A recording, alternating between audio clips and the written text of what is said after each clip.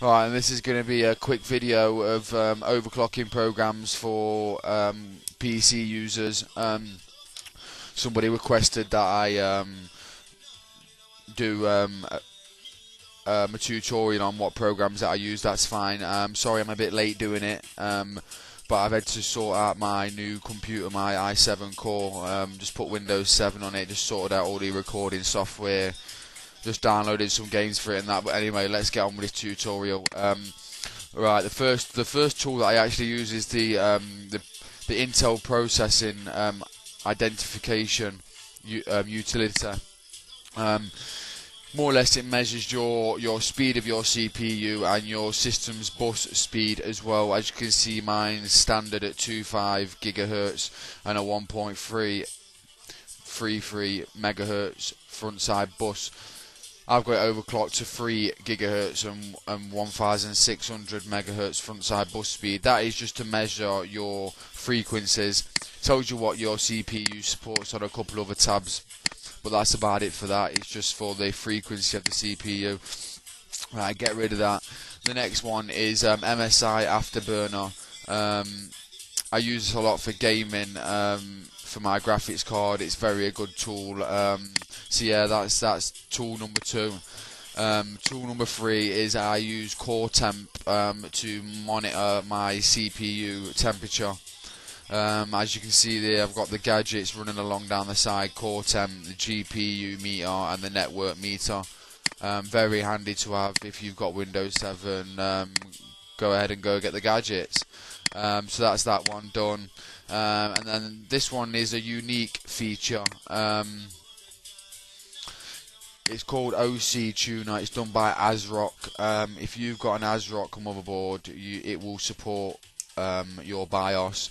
And more or less, you just do the overclocking from here. Um, as you can see, everything's in there that you need to um, know, your voltages and everything. But can I just quote, if you cannot get this tool and you cannot operate your overclocking um, in Windows, um, you will need to go into your BIOS and overclock. If you go into your BIOS and overclock and you cannot touch or move your core voltages, then give up with the overclocking. You will need a new computer. Um, you need to change your voltages um, to make sure it's stable. So yeah, so that's that's that tool. Um, I, like I say, um, this tool in Windows or BIOS um, to use for the um, overclock. Um, and then I use a tool called CPU-Z, measures everything of your CPU, your core speed, your multiplier, your your bus speed, your front side bus speed ratio. Um, it's got your cache, your motherboard information, your RAM, your SD slots for your RAM, um, your graphics card, and a bit about CPU um, ID. So that's that tool done there.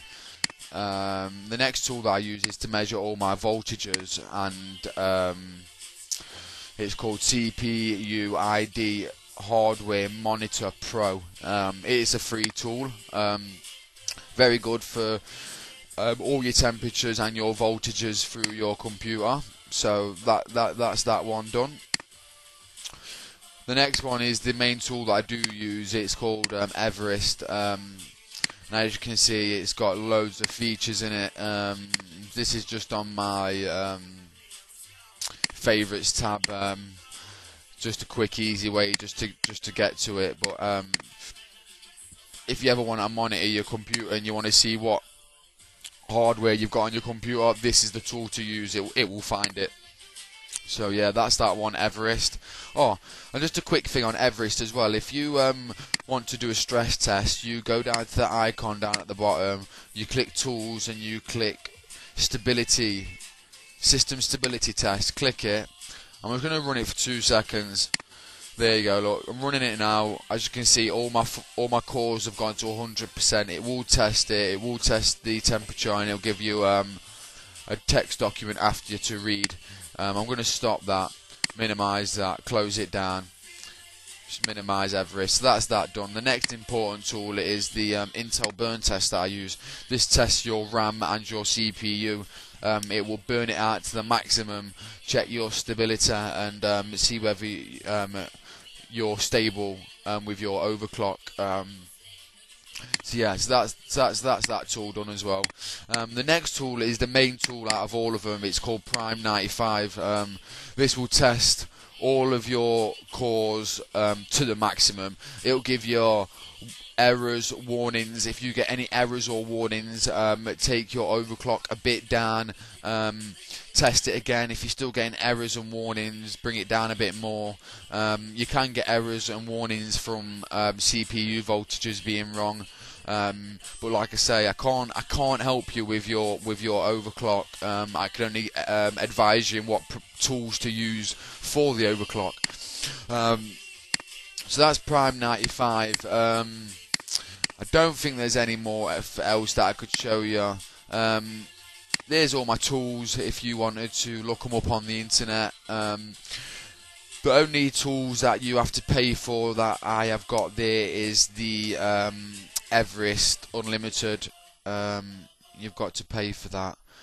Um, but I think apart from that, um, that is it. Um, I don't use many tools. Um, I use the BIOS mainly to overclock.